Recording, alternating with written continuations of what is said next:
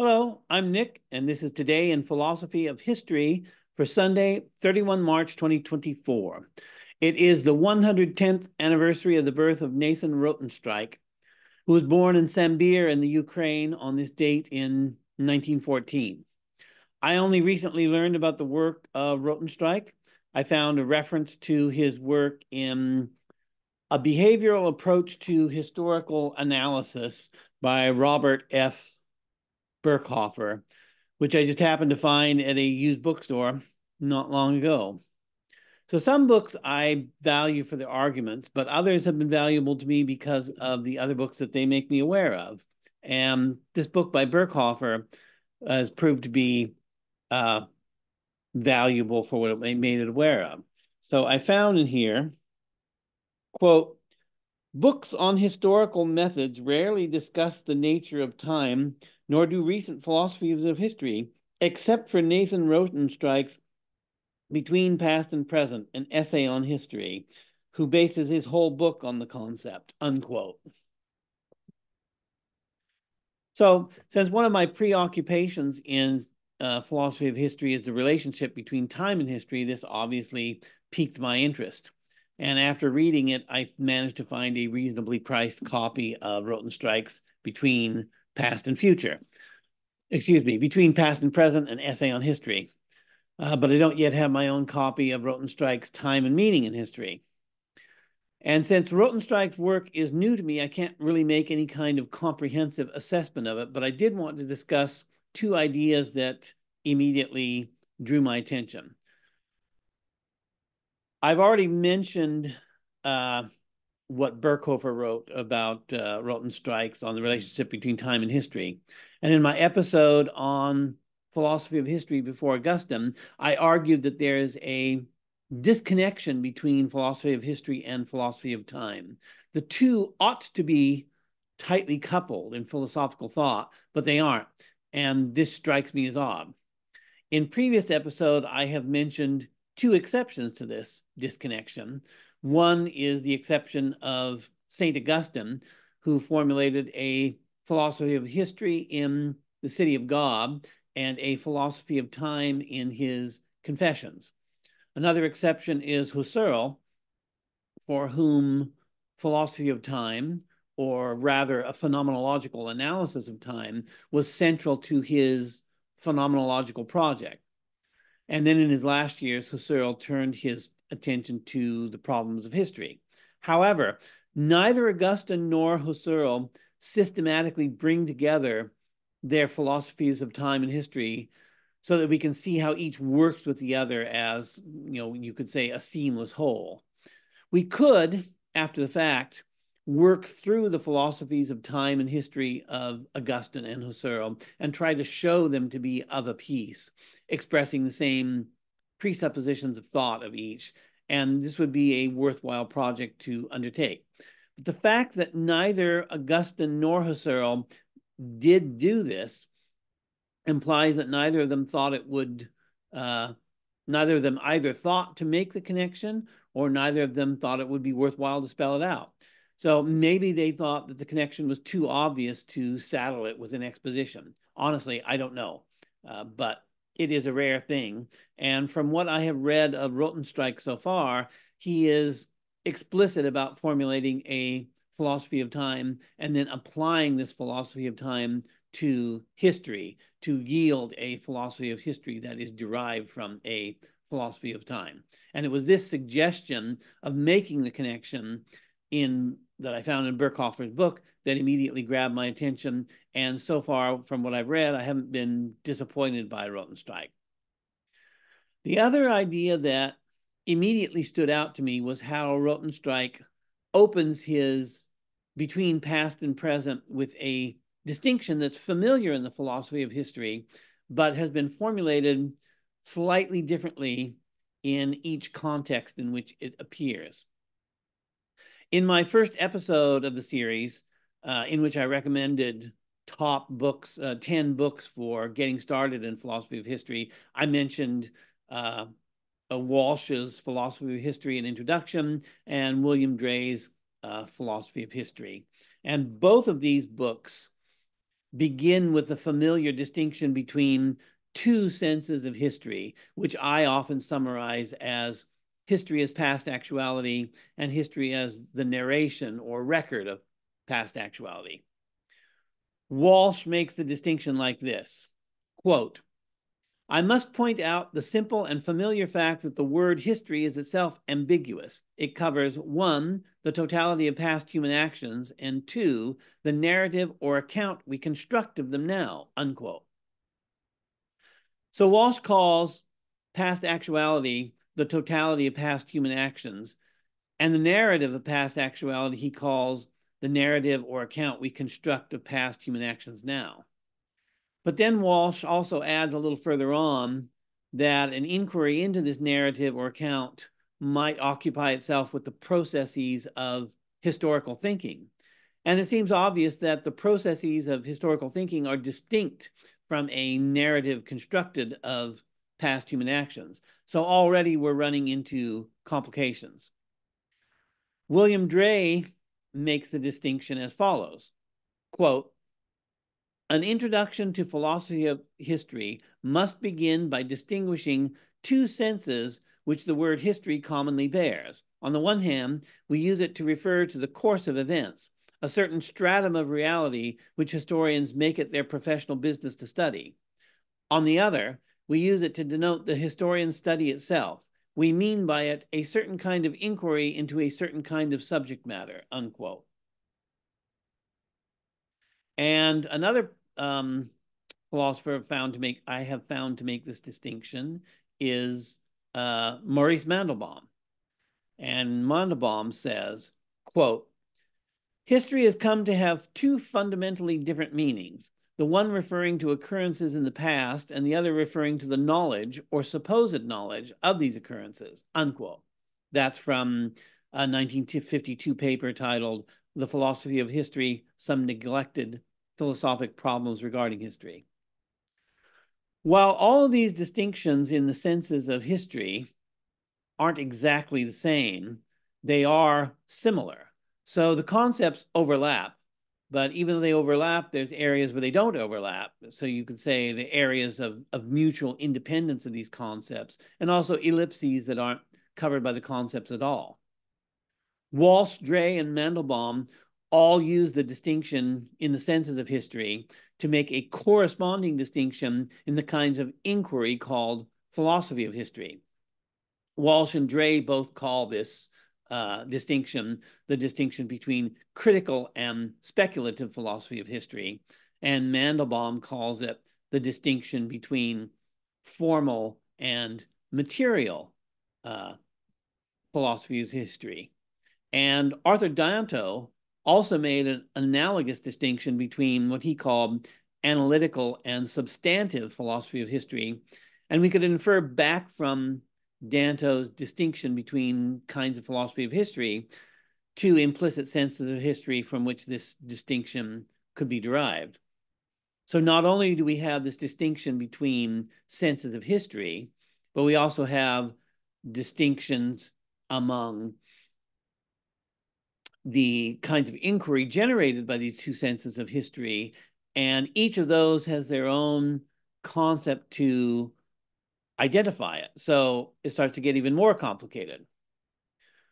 For Rotenstreich, even though he doesn't use the distinction to talk about two different kinds of philosophy of history, we could say that his distinction in forms of inquiry know, implied by what he does say is the difference between res gestae and Historiam Rerum Gestorum, which he takes over from Hegel. So Rotenstreich prepares the ground for his distinction in the senses of history by, by quoting Hegel. Quote, the starting point of this discussion will be Hegel's observation, and then he quotes Hegel, quote, quote, in a quote, in our language, the term history unites the objective with the subjective side and denotes quite as much the historium Rerum Gestorium as the res gestae themselves. On the other hand, it comprehends not less what has happened than the narration of what had happened. This union of the two meanings we must regard as of a higher order than of mere outward accident, unquote. So Hegel is bringing in the objective and the subjective, in, which is another set of concepts. And Rotenstreich uh, largely takes over uh, Hegel's use of objective and subjective in his exposition of making the dis distinction in senses of history. In the 1978 paper uh, titled Historical Actions or Historical Event, Rotenstreich revisits this distinction. He writes, quote, History as res gestae is a forward-looking action occurring against the background of given events, that is to say, of results of actions which occurred previously. History, as a narration of rerum gestarum, is an attempt to look at events as results of action or to find the causal or hermeneutic relationship between events which are the point of departure of our investigation or observation and the actions which resulted in the events. But Rotenstreich isn't really interested in establishing different kinds of philosophical inquiries into history as we find the, the senses of history distinction made by Walsh and Dray and Danto and Mandelbaum. And it seems like from my first glance into Rotenstreich that his interest in, in making this familiar distinction is related to his interest in giving an account of history based on an explicitly developed philosophy of time. So again, this is inter- this is interesting, but I'm citing these examples of the different senses of history in order to make a point. And the point is this Whenever a philosopher makes a distinction that is not based on a logical disjunction, that is to say, it is not a distinction between a proposition P and the negation of P, as we would have in the example of it is raining, which is P, and it is not the case that is raining, which is not P, or the negation of P. If you don't have that explicit kind of logical formulation, the distinction then is based on a non-logical concept. And here by non-logical, I don't mean illogical or irrational. I mean a concept that is not specifically logical, or if you like, a concept that is not reducible to a purely logical conception. If a purely logical distinction is made, we can reduce it to a formula and we can manipulate it according to the rules of logical inference. But even here, there's some wiggle room because if we deny bivalence, the claim that there are two and only two truth values of propositions, the true and the false, or if we deny the principle of the excluded middle, also known as tertium non datur, according to which a proposition is either true or false, then the logical distinction opens out onto further possibilities. So to pursue this any further would take us into the distinction between constructive and non-constructive reasoning, which is relevant to the philosophy of history, but I am going to save that for another time and not pursue it further at the moment. Because all of this is just to point out that there are potential complications even in a logical distinction. But the conceptual distinction opens out onto even a greater variety of complications. When a distinction is conceptual rather than strictly logical, as seems to be the case with the distinction among senses of history and the distinction in philosophical inquiries into history based on distinct senses of history, the relatively straightforward avenue of logical development is not available to us. But a conceptual distinction misleadingly appears as though it were a simple logical distinction. It looks like we're looking at a concept in its negation, but that's uh, often not the case. We could even name a new logical fallacy based on conflating a conceptual distinction with a logical distinction or vice versa. We could convert the distinctions made by Walsh and Dray and Mandelbaum and Rotenstreich into a logical distinction by taking the concept from one side or other of the distinction and negating it and thereby yielding a logical disjunction. For Rotenstreich, we could take the res gestae as the fundamental concept and construct a distinction between res gestae and non-res gestae. It is only if non-res gestae corresponds exclusively and exhaustively with historia rerum gestarum that the conceptual distinction he makes can be reduced to a logical distinction. Otherwise, it is a conceptual distinction. Since for Rotenstreich, res gestae is forward-looking, as he said in the in the paper that I quoted from, it would be probably more intuitive to take forward-looking as the fundamental concept. And that yields a negation of being non-forward linking. And we could say then that it is only if being non-forward linking looking, excuse me, corresponds exhaustively and exclusively with looking at the causal sequence of events that we have a logical distinction. Otherwise, we have four distinctions because we have two distinct concepts, res gestae and historia rerum gestorum, and the negation of each of these. And the subtle conceptual differences that get introduced by the different concepts that are employed to mean that different philosophers, uh, excuse me, let me start over with that. The subtle conceptual differences that are introduced by the different concepts